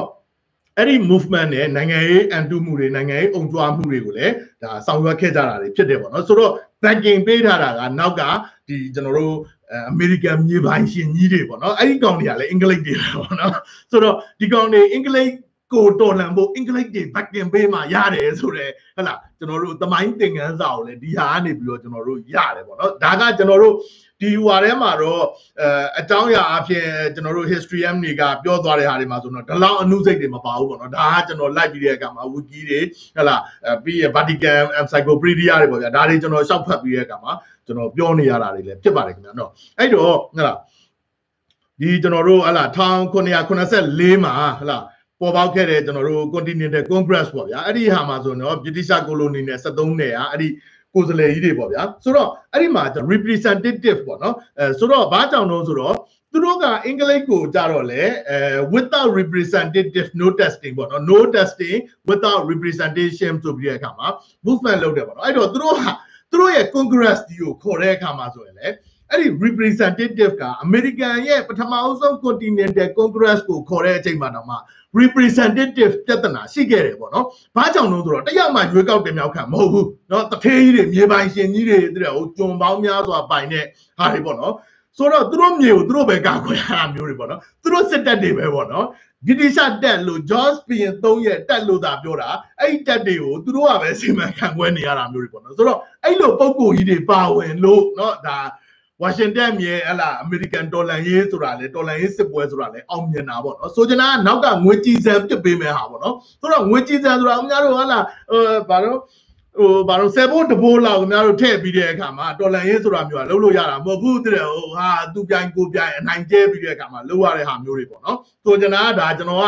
ဒါတွေကိုကျွန်တော်တို့ကဟလာလောကရပညာအနေနဲ့ကျွန်တော်ကဒါတွေကိုပြောနေရတာတွေဖြစ်တယ်ပေါ့နော်အဲ့တော့ဟလာ 6တင်း6ချက်နဲ့ဟလာနှကမ်းပဲတဲ့ချင်းမီးမှုတ်ပြီးတော့မှတော့ဘလို့မှမီးမငိမ့်နိုင်ဘူးပေါ့နော်တရောင်းသားပြည်တွင်းနဲ့လူတွေကမှဖွတ်ပြောင်ချောတွေဖွတ်ပြောင်ချောတွေကြီးကမှဟလာပွဲမကရလို့ဟလာသွေးအေးသွားပြီလားတို့ဘာလို့ညာတို့နဲ့စောက်တရောင်းသားတွေစီကနေပြီးတော့လာပြီးတော့မှတော့ငါတို့အလူခံပြီးတော့လုံနေတဲ့တော်လန်ရေးကတော့ငါတို့ဘလို့နေမလို့တော့ကျုပ်တို့မသိဘူးပေါ့နော်ခင်ဗျားတို့စီကိုခရိုနီတွေဘယ်နှယောက်က ဘယ်နှပြားတွေလဲခင်ဗျားတို့စီကိုလှူဒန်းပြီးတဲ့အခါမှာပါဝင်ထားတာတွေရှိတော့ပေါ့ဒါကဟလာခင်ဗျားတို့ကျုပ်ကလွန်ခဲ့တဲ့နှစ်250အမေရိကန်ရဲ့အခြေအနေနဲ့နှိုင်းယှဉ်ပြီးတော့ခင်ဗျားတို့ပြောမေကွန်းထုတ်သေးတာနော်သူတို့ဆိုတော့ဟလာအဲ့လိုမျိုးတွေနဲ့သွားတယ်ပေါ့ဗျာအဲ့တော့ဟလာဒီဟွာတွေကအဲအဲ့ဒီကနေပြီးတော့မှကျွန်တော်တို့က1985မှာတော့ဟလာအဲ့ဒီ ဒီဒီဒီခဏလေးပေါ့နော်အဲ့ဒီရှစ်တနှစ်ပထမဆုံး continental congress မှာပဲခုနကတော့လို့အဲဘာလို့ no without represent uh, no testing ဟလာ without ဘာလို့ representative လို့ဆိုပြီးတော့ပြောတဲ့သူတွေကပဲသူတို့က congress ကြီးကိုခေါ်ပြီးတဲ့အခါမှာသူတို့ကအဓိကက representative ဖြစ်အောင်သူတို့က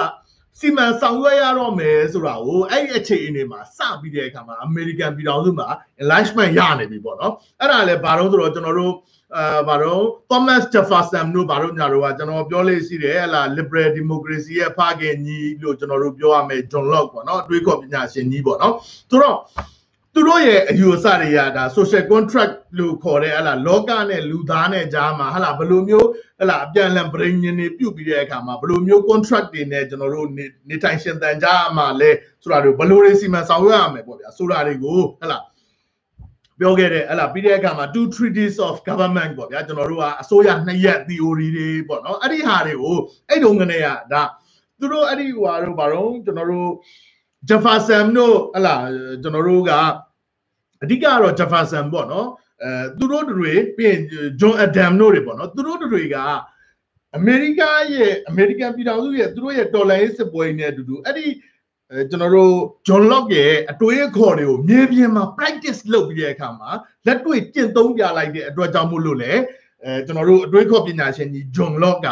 liberal democracy ရဲ့ဖခင်ကြီးဆိုတဲ့ဟာလည်းဖြစ်သွားသလိုအတွေးခေါ်ပညာရှင်ဆိုတာကြီးကလည်းဖြစ်သွားတာပေါ့နော်အဓိကအဲ့နေရာမှာကျွန်တော်ကအတွေးခေါ် philosophy ကိုကျွန်တော်တို့ကပြောတဲ့အခါမှာဟလာလေနဲ့ဟလာပြောပြီးတော့စဉ်းစားပြီးတော့တွေးတဲ့ခေါ်တဲ့ဟာတွေအကြောင်းကိုပဲပြောနေတာတွေဆိုတော့ဒါ thought အဆင့်ပဲရှိတယ်ပေါ့နော် တွေးမှုခေါ်မှုလို့ပဲကျွန်တော်တို့ကပြောလို့ရတာပေါ့နော်ဆိုတော့ philosophy ဖြစ်ဖို့ကမြေပြင်မှာလက်တွေ့ practice ဒီအယူအဆတွေကိုမြေပြင်မှာဘယ်လိုမျိုးအကောင်ထဲဖော်ဆောင်ရွက်တာလဲဆိုတဲ့ဟာတွေပါမှ philosophy လို့ဆိုပြီးတော့ဖြစ်တာပေါ့နော်ဒါကြောင့် Karl Marx တို့ဘာလို့ဆိုရင်ကျွန်တော်တို့က Marxism လို့လောက်အထီကိုကျွန်တော်တို့ခေါ်တာမျိုးတွေရှိတယ်ပေါ့နော်ဆိုကြတာကအဲ့လိုမျိုးတွေနော်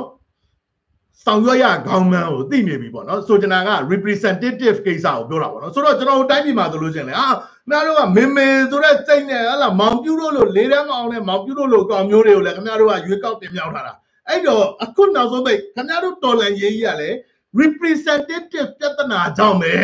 နော်ခင်ဗျားတို့ဘလို့ဖင်ခန်းနေရတော့ဆိုတာတွေကခင်ဗျားတို့ဖြစ်နေတာတဲ့တော့နော်အဲ့တော့ခင်ဗျားတို့တယောက်ချင်းစီကသာဟာဟလာစောက်အရေးချင်းရှိတဲ့ဟလာ လူတော်လူဓာတ်တွေကိုသာမေမေကြီးကစပြီးတဲ့အခါမှာ representative ဖြစ်အောင်တော့ငါတို့ NLD လို့ခေါ်တဲ့အမျိုးသားဒီမိုကရေစီအဖွဲ့ချုပ်ကြီးရတော့ဟေးဘလို့တွေရွေးချယ်တယ်ကွာဘယ်ရည်ချင်းနေရှိမှနော်ဟေးဘလို့မျိုး debate လုပ်ပြီးတော့မှငါတို့အမျိုးသားဒီမိုကရေစီအဖွဲ့ချုပ်ရဲ့အမတ်လောင်းတစ်ယောက်ဖြစ်တာကွာနော်ဟာသူ့ရဲ့ဟလာစကပြောစွမ်းရတော့ဘလို့ဖြစ်တာဘလို့ debate ဖြစ်တာနော်ဟာဘလို့မျိုးလုံနိုင်တာဆိုတဲ့ဟာမျိုးတွေဘာရှိတော့ခင်ဗျားတို့မှာ ခင်ဗျားတို့ရဲ့ရွေးကောက်တင်မြောက်မင်းမေဆိုတဲ့စိတ်နဲ့ခင်ဗျားတို့ရွေးကောက်တင်မြောက်လွတ်လိုက်တဲ့စောက်အမတ်ဆိုတဲ့ကောင်တွေထဲမှာနော်ဘယ်နှကောင်များဒီဘိတ်လုပ်ပြီးတော့ရွေးကောက်ခံဖြစ်လာတဲ့ကောင်တွေရှိတော့ငါတို့လူကြိုင်များတက်တက်လို့မေမေနိုင်မှဖြစ်မယ်မေမေနိုင်မှဖြစ်မယ်ဆိုရင်မေမေနဲ့မေမေဖေဖေတဲ့စောက်ဂျပန်ကိုခေါ်သွင်းလာတဲ့ကောင်ရဲ့ဓာတ်ပုံတွေကိုချိန်ပြီးတဲ့အခါမှာငါတို့အဲ့မှာလောက်ထားတဲ့ကောင်တွေကိုခင်ဗျားတို့ရွေးကောက်တင်မြောက်ခဲ့တဲ့အတွက် ဟလာအခုဖြစ်နေတာပဲခင်ဗျားတို့ရဲ့အဲ့ဒီရွေးကောက်စိုးကောရွေးကောက်တင်မြောက်ခံနေဥဆောင်တဲ့တော်လန်ရေးကြီးကဘလို့လမ်းဆုံးမလဲပေါ့ဗျာဒါကျုပ်တို့ကအင်မတန်စိတ်ဝင်စားတယ်တဲ့ဟုတ်နော်အဲ့တော့ကျွန်တော်တို့ဝါရှင်တန်အကြောင်းပဲစက်မယ်ပေါ့ဗျာအဲ့တော့အဲ့ဒီပထမအဆုံး Continental Congress ပေါ့ဗျာ1900နော်94မှာခေါ်ယူပြီးတဲ့အခါမှာကျင်းပခဲ့တဲ့ Continental Congress ဒီမှာဆိုရင်လည်း Washington ကသူ့ရဲ့ဟလာဒီ Virginia ပြည်နယ်ရဲ့ ဟလာမြေပိုင်ရှင်ကြီးတဦးအနေနဲ့ပဲသူသွားရောက်ပြီးတော့တက်ခဲ့တယ်ပေါ့ဒီမှာဆိုတော့ John Adam ကပဲ Master Key က John Adam ပေါ့နော်ဆိုကျွန်တော်က John Adam ကပဲဟလာဟို lobby လုပ်ပြီးတဲ့အခါမှာအတွေ့အကြုံရှိတဲ့ဟလာ Washington ပြီးတဲ့အခါမှာဂုံတိတ်ခါအင်တာမကြီးမားတယ်ပြီးရင်ဟလာဆိုကဲစေမြဲစေပေါ့နော်ဒါမျိုးတွေကိုဆောင်ရွက်နိုင်မဲ့ပုဂ္ဂိုလ်ကြီးအဖြစ်ဟလာပြီးတဲ့အခါမှာအဲကွန်အဲ commander in chief of rebellion ပေါ့ဗျာဆိုတော့တော်လှန်စစ်ရဲ့ဟလာ ကာကွယ်ဦးစီးချုပ်ကြီးအဖြစ်ကိုဝိုင်းပြီးတဲ့အခါမှာသူတို့အဲဒီ continental congress ရဲ့တက်လာတဲ့မြေပိုင်ရှင်ကြီးတွေအကုန်လုံးကဝါရှင်တန်ကိုတင်မြောက်ရွေးကောက်တင်မြောက်လိုက်ကြတယ်ပေါ့နော်ဆိုတော့အဲ့ဒီကနေစပြီးတဲ့အခါမှာကျွန်တော်တို့တော်လန်စစ်ကိုဝါရှင်တန်ကဥဆောင်ပြီးတဲ့အခါမှာဆောင်ရွက်သွားတာတွေဖြစ်ပါတယ်ပေါ့နော်ဆိုတော့အဲ့ဒီအကြောင်းတွေကိုဒီ lawyer subject ဆိုတဲ့အပိုင်းမှာအဓိကမြင်တွေ့ကြရမှာဖြစ်ပါတယ်အဲ့တော့ အဲလွန်ခဲ့တဲ့တစ်နှစ်နီးပါးကြာလောက်ကကျွန်တော်ကပြောခဲ့ဘူးပါတယ်ဗျာနော်ဟာဗိုလ်ချုပ်ထွန်းမြတ်နိုင်တို့နော်ဟာဗိုလ်ချုပ်ကွမ်မော်တို့ခင်ဗျားတို့ရဲ့ဟလာ commander in chief of rebellion ဆိုပြီးတဲ့အခါမှာခင်ဗျားတို့တော်လန်ရေးတစ်ခုလုံးဝါကုတ်ပြီးတော့ဟလာအတိလိုက်ကြဇမ်းပါဆိုပြီးတော့ကျွန်တော်ပြောပြတဲ့နောက်ပိုင်းမှာအေအေကတိုက်ပွဲတွေပါညာတွေပေါ်ဆောင်ပြီးတဲ့အခါမှာတကယ်အမှန်ကန်လုပ်ခဲ့တဲ့အေအေကဗိုလ်ချုပ်ထွန်းမြတ်နိုင်တို့တည်းကိုခိုင်သူကတို့တွေတည်းဟုတ်နော် ဒါပေမဲ့ခင်ဗျားတို့ကခင်ဗျားတို့ရဲ့စောက်ကျင်ဗမာမြန်မာတွေရဲ့စောက်ကျင်တိုင်းတည်းဟုတ်တိုင်းရင်းသားမှန်သမျှကိုငါတို့အောက်ဆွဲနေလောက်နေပဲခင်ဗျားတို့ကထားကြတော့နော်ဟိုကောင်းလေးကအခုတော့အပြည့်ရဟုတ်တယ်လေခင်ဗျာဒေသခံပြည်သူတွေကခင်ဗျားတို့သူတို့ကထောက်ခံခဲ့တဲ့လူတွေလည်းမဟုတ်ဘူးတဲ့ဟုတ်ခင်ဗျားတို့နန်းရဖို့အတွက်တော့ခင်ဗျာဟိုကောင်တွေကဘာဖြစ်လို့အသက်ဘဝကန္တာဆုံးညင်ဆုံးဆိုပြီးခင်ဗျားတို့ကိုတိုက်ပေးရမှာတော့ခင်ဗျားတို့ကမင်းပြောင်းမင်းလွဲလောက်ခံခြင်းနဲ့အယူအဆထက် ဘာမှပိုတဲ့တော်လိုင်းရေးအယူဆတခုမှမရှိဘူးတော့မမုံတရားနဲ့ဟောကောင်းတယ်ဟူသတ်ဆိုတဲ့ဟာအပြင်ခင်ဗျားတို့မှာဘာမှမရှိဘူးအဲ့တော့ဟိုကောင်းတယ်နောက်ဆုံးပိတ် AA ကဟလာယာယီအပြစ်ခတ်ရက်တယ်ပေါ့နော်အဲ့တော့အဲ့ဒီအတွေ့အကြုံကနေပြီးတဲ့ကမှာခင်ဗျားတို့မြန်မာတွေနော်အထူးသဖြင့်တဲ့ဟုတ်အခုဖြစ်နေတဲ့နေရာတွေအဲ့ဒါတစ်ချိန်ချိန်မှာမြန်မာပြည်နယ်ဖြစ်မဲ့ဒေသတွေပေါ့ဗျာအဲ့အတွက်ကြောင့်မို့လို့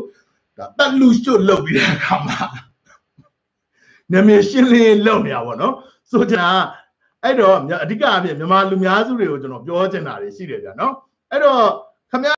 ခုဟလာ NUG တို့ဘာလို့ညာတို့အာပြည်သူတွေစစ်စစ်ဖက်အောက်ကနေလွတ်မြောက်ဖို့နော်ဟာအခုလိုမျိုးခံနေရတာထက်ဆိုင်သေသွားတာမှမုံညက်သေးတယ်လို့ဆိုပြီးတဲ့အခါမှာပြောဆိုပြီးတဲ့အခါမှာခင်ဗျားတို့သဲကြေကိုခိုက်သဲကြေခိုက်တွေကိုအမိအယစုပ်ကင်တာပေါ့ဗျာအဲ့တော့သူတို့မလုံသူတို့မတိုက်ချင်တော့ဘူးဆိုတဲ့အချိန်ကျရင်လေ ခင်ဗျားတို့အခုလိုသေကြေနေကြရတဲ့ဟာတွေကဟာပြည်သူတွေရဲ့အကြက်အတဲကိုထောက်ရှုပြီးတော့နော်သူတို့ကအာရစဲပြီးတဲ့အခါမှာဟာလားဒူးထောက်လက်မြောက်ပြီးတော့ပေါ့ဗျာအခုကတော့ဒူးမထောက်လက်မမြောက်တောက်စိတ်ဖယ်ထားမိပေါ့နော်အဲ့တော့ခင်ဗျားတို့ရဲ့ဟလာဟာခင်ဗျားတို့သိကြပြီးတဲ့အခါမှာခင်ဗျားတို့ဟလာဒုက္ခဒုက္ခတွေအမတန်ခံစားနေရတဲ့အတွက်နော်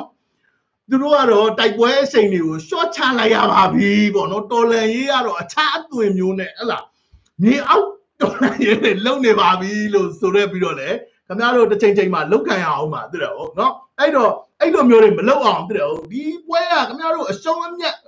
အနိုင်အရှုံးဘယ်တော့မှဗမာသမိုင်းမှာသိတယ်ဟုတ် ဟိုလွတ်လပ်ရေးမရခင်ကနေကအနိုင်ဆုံးမကွဲပြားခဲ့တဲ့အတွက်သိတယ်ဟိုမအားလာတွေဆိုတော့လည်းအေးလွန်မအားလာတွေမင်းတို့ကငါတို့မမေထမိန်အောင်မှာပဲရှိရမယ်ပေါ့နော်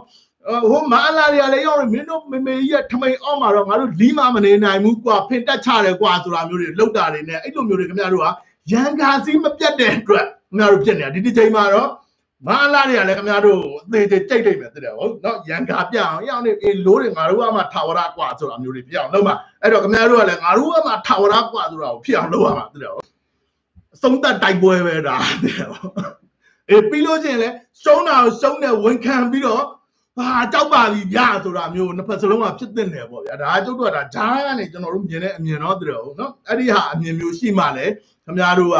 ပိတ်ပိတ်မှောင်းနေတဲ့မဟူရညာကြီးကနေပြီးတော့ရောင်ဒီလာမှာတော့အဲ့တော့ဟလာ representative ရဲ့စောက်ပြဿနာပေါ့ဗျာအဲ့တော့ representative ဆိုတာကဟလာရွေးကောက်တင်မြှောက်ခံဆိုတာဂျင်းထဲပြီးတော့ငါမင်းမေဆိုတဲ့စိတ်နဲ့ representative ဆိုတဲ့ဟာတွေကိုလှုပ်လိုက်တဲ့အတွက်ခင်ဗျားတို့ဘလို့ဖင်ခံနေရတော့ပေါ့ဗျာကိုယ့်ဟာကိုဘလို့ဖင်ခံနေရတယ်လဲဆိုတာကိုယ့်ဟာကိုအတိသုံးပဲတဲ့ဆိုတော့ ဒါခင်ဗျားတို့ကျုပ်တို့ကချစ်လို့နော်ဒါတွေကကျုပ်တို့ကပြောပြတာစေတနာစိတ်အပြည့်နဲ့ကျုပ်တို့မျိုးဘယ်သူမှမပြောပြဘူးခင်ဗျားတို့သိတယ်ဟုတ်နော်ဆိုချင်တာကကျွန်တော်ကဟလာရုပ်ရှင်တွေအကြောင်းကိုပြောတယ်တို့ဘာတို့ညာတို့ပေါ့ဗျာရုပ်ရှင်ဆိုတာကျုပ်ကဖြောပြရုပ်ရှင်တွေအကြောင်းကျုပ်ပြောတာမှမဟုတ်တာဗျခင်ဗျားတို့ဟလာသမိုင်းဝင်တကယ်ခင်ဗျားတို့သိတယ် historical channel တို့ဟလာ documentary တို့ဟလာ HBO တို့ကဒေါ်လာတန်ပေါင်းများစွာအကုန်ကြခံပြီးတဲ့အခါမှာလောကဓာတ်ပညာအလုံးငါ ထုတ်ဝေပြီးတော့ဖြန့်ပြူးပြီးတော့ပြသနေတဲ့ဟာတွေကိုကျုပ်တို့ကမြန်မာကနိုင်ငံရေးအခြေအနေနဲ့ပြစ်စကတ်ဟာတွေနဲ့ပေါင်းဆက်ပြီးတော့မှကျုပ်တို့ကပြောပြတာတဲ့ဟုတ်နော်အဲ့တော့ငါတို့ပါခင်ဗျားတို့စဉ်းစားတဲ့ဟုတ်ကျုပ်တို့ပြောနေတာတွေကဘာတွေလားဆိုတာကိုပေါ့ရဆိုတော့ပေါ့နော်အဲ့ဒါတွေကိုလည်းကျွန်တော်က အဲလေးနဲ့သိသိချင်းတယ်ပေါ့နော်အဲ့တော့ကျွန်တော်မီးပြတ်တော့မှဖြစ်တဲ့အတွက်ပေါ့ဗျာကျွန်တော်ရဲ့ဟာကိုအဆုံးသတ်လိုက်တော့မယ်နော်အဲ့တော့အဲ့ဒါလေးတွေကိုကျွန်တော် Telegram ပေါ်မှာအပိုင်းတစ်ကစပြီးတော့ကျွန်တော်တင်ပေးထားတယ်ဆိုတော့တရက်နှစ်ရက်လောက်နေလို့ရှင်တော့အပိုင်းနှစ်ကျွန်တော်တို့အဲ Commander in Chief of Rebellion ပေါ့ဗျာဆိုတော့အဲ့ဒီအပိုင်းကိုလည်းကျွန်တော်တို့တင်ပေးမယ်အဲ့တော့တွန်းမြတ်နိုင်တို့ AA ကတော့ ယာယီအပြည့်ရက်သွားပြီပေါ့နော်အဲ့တော့ခင်ဗျားတို့မှကြံသေးတယ်သိတယ်ဟုတ်နော်ဟာဗိုလ်ချုပ်ကွမ်မော်သိတယ်ဟုတ်ဟာ commander in chief of rebellion ဆိုပြီးတော့ဗိုလ်ချုပ်ရဲ့ဟလာအမျိုးသားလွတ်မြောက်ရေးကိုဥဆောင်ပေးပါဆိုပြီးတော့ခင်ဗျားတို့အချက်နော်ဘာလောက်နေရတော့မရဘူးခင်ဗျားတို့ဘာတော့နရာများလောက်နေရတော့မရဘူးသိတယ်ဟုတ်နော်ဘာလို့တော့ဆိုတော့ကျုပ်ကပြောမယ်ခင်ဗျားတို့ဟလာအဲ့လိုမျိုး work out အဲ့ဆိုတာခင်ဗျားတို့ရဲ့ဟလာရီမွန်လိုကောင်မျိုးရဲ့အုပ်ချုပ်မှုအောက်ကိုဘယ်တနက်ကင်ထားတဲ့ကောင်ကမှအဲ့အဲ့ရောက်လီ ကျုပ်လိုကောင်တော့မှရီမွန်လိုကောင်မလေးစားတာဗျာသိတယ်ခင်မမမျိုးတို့လိုကောင်မတွေဟလာတစ်တစ်ဟိုဟာတို့လိုကောင်မတွေကိုကျုပ်ကမှမလေးကျုပ်လိုကောင်တော့မလေးစားနိုင်ဘူးအဲ့တော့တနက်ကင်ထားတဲ့ဗိုလ်ချုပ်ဆိုတဲ့ကောင်တွေကခင်ဗျားတို့လက်ကလေးစားပါမလားဒီပလိုမေစီရတာခင်ဗျားတို့သိတယ်အိုးအေးပါကွာဒီကောင်တွေဖင်ချခံထားတဲ့ကောင်တွေမလို့တနာပါတယ်ဆိုပြီးတော့ခင်ဗျားတို့ဖေးမတာတော့ပဲရှိတာနော် အဲ့ဒါကြောင့်မို့လို့ခင်ဗျားတို့ရဲ့ပါဝါကိုအရင်ဦးဆုံးခင်ဗျားတို့ဟုတ်လားခင်ဗျားတို့အကုန်လွတ်မြောက်ဖို့အတွက်ခင်ဗျားတို့ပါဝါလေးကိုအရင်ဦးဆုံးအဲ့ဒါလေးကိုစွန့်နော်ထွန်းမြတ်နိုင်တော့ရမရမသိတော့ဝမ်မော်တို့ဘယ်သူတို့လက်ထဲကိုအခင်ဗျားတို့သိတယ်ဟုတ်ဘိုလ်ချုပ်တို့ကြိုက်တယ်လို့စီရင်စီမံပါကျုပ်တို့ရဲ့တော်လန်ရေးကြီးကိုဆိုပြီးတော့ဆိုရင်ခင်ဗျားတို့ရမယ်ဘာကြောင့်လို့ဆိုတော့ရေစင်မှာလာအောင်မှာခင်ဗျားတို့ဟလားရင်မလို့ကောင်ပြောတဲ့ဟာပဲကျုပ်တောင်မလေးစားဘူးဆိုမှတော့ခင်ဗျားတို့ PDF ခင်ဗျားတို့ဘုံနဂါးတော်မှာခင်ဗျားတို့ရင်မွန်ပြောတဲ့ဟာလက်ခံမလားခင်ဗျားတို့ရေစင်မှာခင်ဗျားတို့မြင်ကြရအောင်ပါအဲ့ဒါတွေကနော်ဆိုချင်တာအဲ့ဒါကြောင့်မို့လို့ဂုံတိတ်ခါကြီးတဲ့နော်အရေးချင်းပြေဝတဲ့ခေါင်းဆောင်စစ်ခေါင်းဆောင်တယောက်လိုအပ်တယ်ဆိုတာကိုကျုပ်တို့ကပြောပြောနေတာနော်ခင်ဗျားတို့ representative ဆိုတော့လေမမေဓာတ်ပုံနဲ့မမေဖဖေတည်တယ်စောက်အောင်စတန်ဓာတ်ပုံလောက်နဲ့အမတ်ပြထားတဲ့ကောင်တွေလောက်နေရတော့မရဘူးဒီတကွေးမှာရှင်းမဖြစ်နိုင်ဘူးဆိုလို့ဆိုပြီးတော့တို့တို့ပြောပြောနေရတာတွေပေါ့နော်သူတော့ အဲ့ဒါလေးကြံခဲ့မှာဆိုလို့ကျွန်တော်ပြောတယ်เนาะအဲ့တော့ဒီဟာကိုကျွန်တော် Telegram ပေါ်မှာမနေ့ညတော့ကနေကျွန်တော်တင်ပေးတာတာเนาะဆိုကျွန်တော်ကအဲ့လားနောက်နောက်ပိုင်းနေနောက်ပိုင်းနေလည်းကျွန်တော်တင်ပေးမယ်နောက်နေ့တွေနောက်နေ့တွေမှာလည်းအဲ့လိုအဲ့လိုပေါ့ဗျာဟဲ့လားဒီဟာကိုအကြောင်းပြုဒီလိုမှတ်တမ်းရုပ်ရှင်တွေကိုအကြောင်းပြုပြီးတဲ့အခါမှာဟာလားမြန်မာခေတ်နိုင်ငံရေးတွေနဲ့ဟိုအဲ့လိုချိတ်ဆက်ပြီးတဲ့အခါမှာကျွန်တော်ပြောပြနေမှာဖြစ်တယ်အဲ့တော့ Facebook တို့ဘာလို့ဘာလို့ကျွန်တော်မလွယ်ဘူးပြီးတော့မှ link လောက်ပဲကျွန်တော်သွားတင်ပေးမှာဆိုချင်တာကဟလား evolution မှာပဲဖြစ်ဖြစ် revolution မှာပဲဖြစ်ဖြစ်ဟလားပို့တော်ပို့ထက်တဲ့ကောင်တွေပဲเนาะပို့ပြီးတဲ့အခါမှာရှင်တန်ရက်တီအောင်ရုံးကန်နိုင်တဲ့ selection လောက်ထားတဲ့လူဒန်းစားတွေပဲနောက်ဆုံးပိတ်ကြံခဲ့ရတဲ့သဘောတဘာဝရှိတယ်ဒါကြုတ်ပြောတာမဟုတ်ဘူး Charles Darwin ပြောတာပေါ့နော်အဲ့တော့အဲ့ဒီဟာတွေအတိုင်းပဲနောက်ဆုံးပိတ်မှာရှင်တန်ကြံရစ်ခဲ့တဲ့နော် selection လူဒန်းစားဖြစ်အောင်ပဲကြုတ်ကရည်ရွယ်ပြီးတဲ့အခါမှာဒီလောကအမြင်တွေကိုပြောတာ စောက်အုပ်ရောရောကြောက်ရောရောဖျားဖြစ်မဲ့အုတ်ခဲတွေကိုပါဟာနိဗ္ဗာန်မျက်မှောက်ပြုဖို့ဟာအတွက်ကျုပ်မပြောတော့ဘူးလို့ကျုပ်ဖာကျုပ်ဆုံးဖြတ်ထားတာဖြစ်တဲ့အတွက်ဒီ selection လူဒန်းစားတွေကိုပဲကျွန်တော်ကတော့ဟဲ့လားကျွန်တော်ရဲ့ရှိသမျှဟာကိုစိတ်တန်တန်ဟဲ့လားရင်ဘတ်ဖွင့်ပြီးတော့ကျွန်တော်ပြောတဲ့ဟာတွေကိုခင်ဗျားတို့လည်းရင်ဘတ်ဖွင့်ပြီးတော့နားထောင်နိုင်တဲ့လူတွေကိုပဲကျွန်တော်ကတော့မျှဝေပေးခဲ့တာတွေဖြစ်တယ်ဒီအတွေးခေါ်တွေဒီအတွေးအမြင်တွေနဲ့မှာကျွန်တော်တို့သွားမှာကျွန်တော်တို့ဝီမုတ်တီဖြစ်မယ်ကျွန်တော်တို့နိဗ္ဗာန်မျက်မှောက်ပြုနိုင်မယ်ဟုတ်လား အရိယာဘောင်ကိုအရှင်လက်လက်ချက်ချင်းရောက်မယ်တဲ့ဟုတ်မဟုတ်ရင်ခင်ဗျားတို့စူပါမန်တွေအဲ့ဒီမှာဘာမဟုတ်တယ်ဟလားရုပ်ထုတွေကိုကွယ်မေမေရုပ်ထုဖေဖေရုပ်ထုဟလားဒီတဲ့အောင်ဆန်းဆိုတာလဲစောက်ဗျံပရာကောင်တဲ့ဟိုဖာဘေမနဲ့ဟိုဟာနဲ့ပေါင်းလို့ပဲဝရမ်းပြင်းနဲ့တခိုးဝရမ်းပြင်းနဲ့အဲ့ဒါညောင်ညိုပင်အောက်အဲ့ဒါတခင်စိုးကြီးတို့ပြောတဲ့အဲ့လိုမျိုးလုပ်ပြီးတော့စောက်စစ်တက်ကိုဟလား လမ်းမတော်ဖို့တုတ်ရဲ့စပွန်ဆာနဲ့ဖက်စစ်ဂျပန်နဲ့သွားပေါင်းတဲ့ဟာတွေကိုတော့တုတ်တုတ်ကတော့မဟာတမဂန္ဒီနဲ့ရှင်းရင်မလေးစားဘူးသိတယ်ဟုတ်မဟာတမဂန္ဒီကိုပိုလေးစားတယ်နော်ဆိုချင်တာကအဲ့လိုဟာတွေဂကနေပြီးတော့အဲ့ဒီဟာတွေကိုကိုးကွယ်နေတဲ့ဟာတွေကိုနော်ခင်ဗျားတို့ရက်တန့်ပြီးတဲ့အခါမှာခင်ဗျားတို့စွန့်လွတ်နိုင်တဲ့ခင်ဗျားတို့မအားလာတဲ့ရောအောင်မြင်တဲ့နေလို့ဆိုတာကိုကျုပ်ကတော့ကျုပ်အတွေ့ခေါ်ကျုပ်အတွေ့အကြုံနဲ့ ကျုပ်ဒါဖြန့်ဖြူးနိုင်တယ်လို့ကျုပ်ကတော့ဖြန့်ဖြူးခဲ့တာကျုပ်ပြောခဲ့တာခင်ဗျားတို့အဲ့ဒီမှာမေမေနဲ့မေမေဖေဖေကိုစုပ်ကင်ထားသမျှခင်ဗျားတို့ဘယ်တော့မှစစ်ကြုံဘွားကမလွတ်မြောက်စေရပါတော့ဘာလို့တော့ဆိုတော့ဆက်စစ်တက်ကိုထူထောင်ခဲ့တဲ့ကောင်နဲ့အဲ့ဒီကောင်ရဲ့သမီးကိုမှခင်ဗျားတို့ကကြီးညိုကိုးကွယ်နေသမျှတော့ခင်ဗျားတို့ကစစ်ကြုံမဲ့သူတော့စစ်ကြုံစစ်စစ်ကခင်ဗျားတို့ပြင်နေတာသူတော့ ဆိုတော့ဒါလေးတွေလောက်ကိုပြောရင်းနဲ့ကျွန်တော်ရဲ့အခု live ကိုကျွန်တော်အဆုံးသတ်လိုက်ရပါတယ်ဟုတ်အားလုံးကျေးဇူးတင်ပါတယ်နော်ပြီးပြတ်တော့မှာမလို့ပါဟုတ်ရေလိုက်တာ